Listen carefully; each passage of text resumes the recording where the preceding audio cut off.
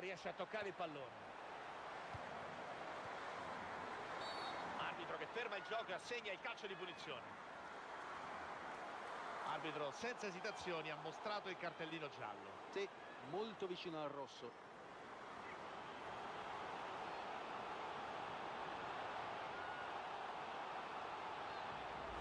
Intervento scomposto questo, chiaramente falloso. Ha scelto male il tempo della scivolata e praticamente è franato addosso all'avversaria.